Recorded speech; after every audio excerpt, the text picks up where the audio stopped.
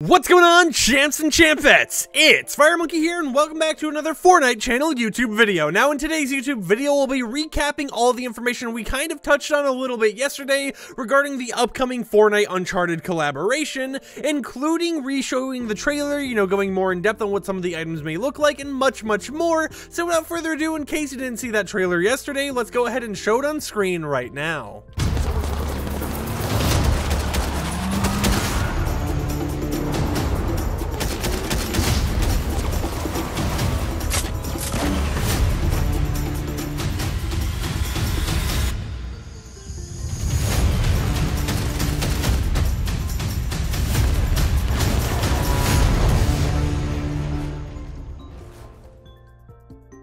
That's right, based on the Uncharted film by Sony Pictures and the video game franchise by PlayStation's Naughty Dog Studios, Nathan Drake and Chloe Frazer are both going to be dropping onto the Fortnite island to stash a different kind of loot in the near future. Now, there's a lot to talk about here, so let's break it down firstly by talking about the skins. And now, in that trailer, you may have actually felt like there was going to be a total of four skins with two Nathan Drake outfits and two Chloe Frazer outfits. However, I am glad to announce that that is not going to be the case. The reason for this is because the the Nathan Drake outfit will have its default style being related to the movie, you know, using Tom Holland's face, but it will also have a style related to the actual video game, specifically Uncharted 4 A Thief's End, where you can play as the video game version of Nathan Drake. And similarly with Chloe Frazer, you will have two movie styles and one video game style. The two movie styles are going to be, you know, the default one you can get, the no jacket version of from the movie, and then for the video game style, it's going to be based around the video game Uncharted The Lost Legacy.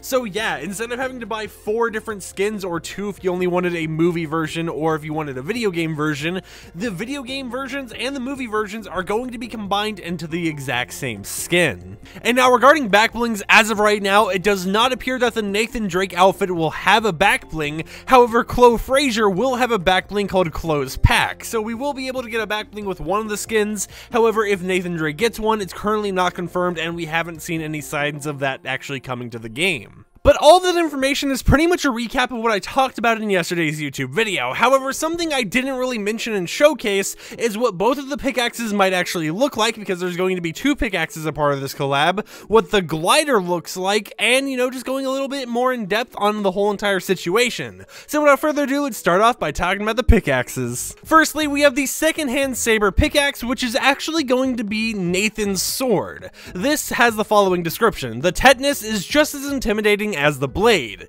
Now, based on, you know, one of my friends who actually plays the Uncharted franchise and is big into the video game side of stuff, they think that this is actually going to be the following pickaxe you can see on screen right now from the actual Uncharted games. And it actually makes sense and matches up since, you know, it's going to be a blade, it's a hand saber, but also it mentions tetanus, and it is a pretty rusty blade, so it practically matches up one to one. However, for the second one, we have the Parashurama axe. Now, this is going to be a actual you know, axe type thing, and it's most likely going to be the one you can see on screen right now. This description simply states that it's even sharper than it looks, and according to my friend, this might actually be Chloe's pickaxe. So, you know, it just recognized which ones go to which skin, and it's going to be interesting to see both of these in the game, especially with the uh, secondhand saber, what combinations people are going to be able to make outside of the Uncharted world when it comes to, you know, how unique these are, because we don't really have that many, like, piratey saber type pickaxes in the Fortnite game. And then finally, we also have Sully's new seaplane glider, and this one could actually be seen in that trailer from this exact snippet you can see in the background right now.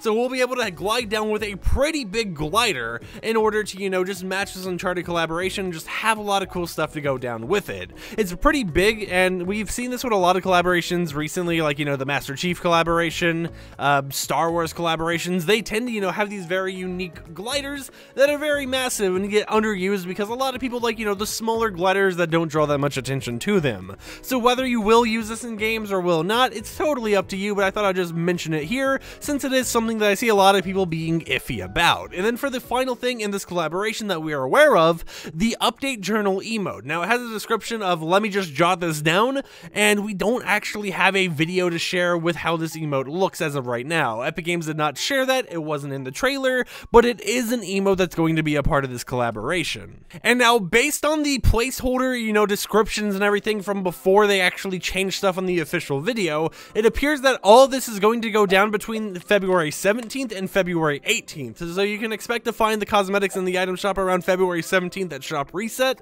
and around the 17th as well, or maybe even the 18th, depending on their description, we should see the Uncharted treasure map, also known as Drake's Maps, appearing on the Fortnite Island, as not only are they going to be, you know, the revamped treasure maps we talked about in the past, codenamed Rover, but they are going to be our way to do one of the upcoming Week 11 challenges. So with that said, if you enjoyed today's video going more in depth on the whole entire situation, giving you guys visualizations of what the upcoming pickaxes and stuff might be, consider subscribing not only to this YouTube channel to support the content I create, but if you want to go a step further and watch some commentary style videos, or maybe it's a let's play, maybe it's a rant, consider subscribing to my commentary channel just called Fire Monkey, which should be linked on the homepage, or you know, have a recommended video at the very end of this video. I'd greatly appreciate it, but with that said, I'll catch you champs and champettes tomorrow where we talk about some upcoming free rewards you can get in Fortnite.